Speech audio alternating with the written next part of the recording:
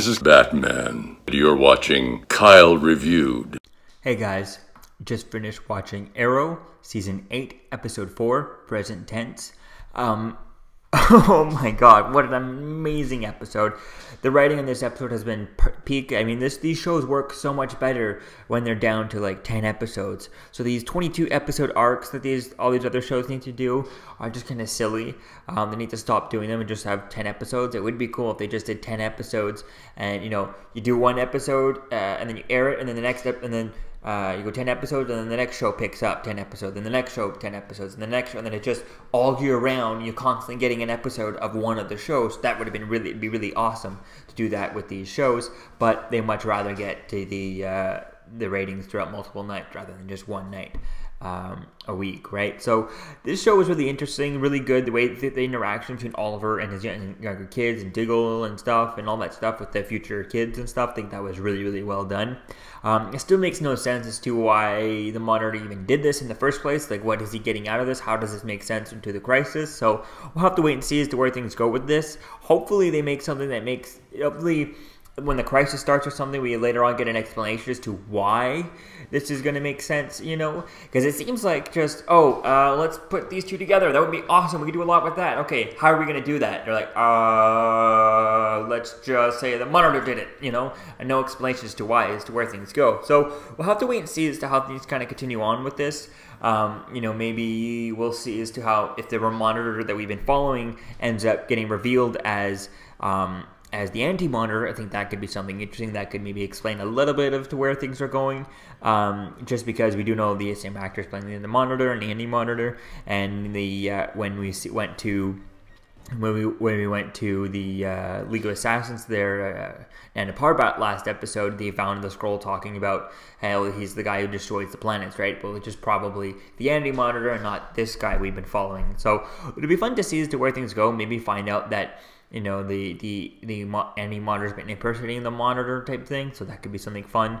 We'll have to wait and see as to where things go. But the relationship stuff dealing with Oliver and the, and Mia and and uh, and William and stuff that was really interesting. I'd love to see William meet his younger self that would be something cool um, but I think that's something that we'll probably save for the spin-off show uh, Green Arrow and the Canaries so I think that'll be quite cool to see as to where things go with that and maybe in that show eventually do something where where William meets his younger self. I think that could be quite cool. I mean, they don't have Mia could meet her younger self, but she's just a really young child, right? Um, or maybe later on in future seasons, we could do that. We could have older Mia uh, meet younger Mia at some point. That could be something cool to, to, to change. And um, it seemed interesting how they had they killed off uh, Zoe and stuff, uh, Rene's uh, uh, daughter and stuff in the future, and then to come back. Because I just found that, that especially watching most recently, I started to notice that like the actors who they cast in the future and the actress who they have as a young Zoe in 2019 they do not look whatsoever like each other you know?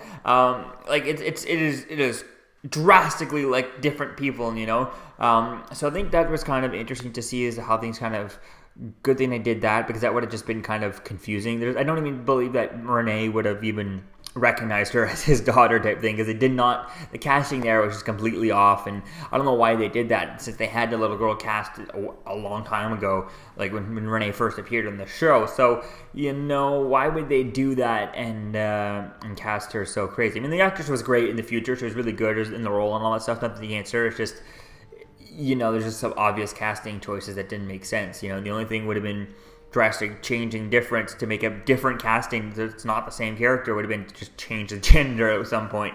Um, which I guess you could you could have done something like that just say she went through the uh, the surgery or something like that. But um, to to to to change to become transgender and all that stuff. But uh, I don't know. It's just it's just interesting that they, they killed that, that off, and I like the way things kind of went. How Rene now has that kind of looming over him for the rest of uh, of his time, you know, on this show for the season, and potentially him if he's on the uh, the the Green Arrow on the Canary show. I don't see why not why he wouldn't be on there. Now some of these characters might you know might sign on might uh, not sign on right away, but leaving the characters alive in this show could be interesting to potentially bring them back on later on in future seasons of that uh, Green Arrow and the Canaries spin-off show. So I think it'd be quite cool to see where things go with that. Uh, I love getting more looks at John Diggle's jacket here. It's, it definitely looks green. It looks very easy to take that jacket that he's wearing right now and turn it into a Green Lantern uh, jacket. So I think that could be something interesting to see. And I'd love to see an interesting to see as to how things go, especially if if John Diggle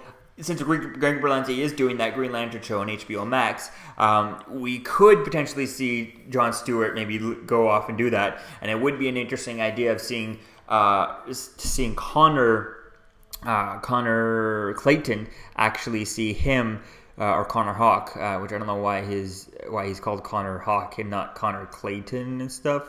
Uh, but if you see Connor, um, you know, actually maybe he ends up raising JJ because something happens to uh, to so I'm not mistaken the Crisis comics um, uh, Lyla Lyla Michaels Harbinger ends up actually killing herself ends up dying in, in the Crisis. So we could see that happening. Things are going all wrong and then John and then Diggle gets the a Green Lantern ring and he just takes off. And then we pick him up with him in that HBO show Maybe he pops up once or twice in a couple of big, big crossovers in a couple of seasons, but he's gone. He's doing all, all those things over there. Now, if that Green Lantern show takes place entirely in outer space, you could totally do that and just be like, he's out in outer space, and we have to have Connor Hawke kind of, uh, you know, um, I think the actor has posted a bit online saying that he might be joining that uh, crossover, that uh, spin-off show. So seeing him at some point taking care of Diggle, um, depending on if Lyla makes out makes it out of there. If Lyla doesn't make it out of there, then it's kind of more difficult for for uh, for uh, John Diggle to just take off as a Green Lantern. Um, and even if he does, you know, the lanterns like obviously the ring would come and pull him, force him to Oa type thing.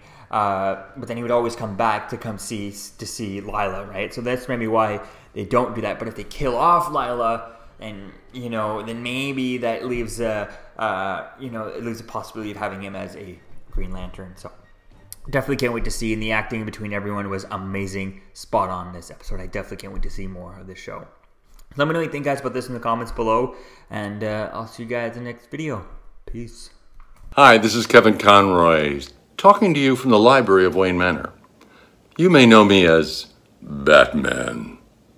I just want you to know that you're watching Kyle Reviewed. Like, share, comment, and subscribe. I am vengeance. I am the night. I am Batman.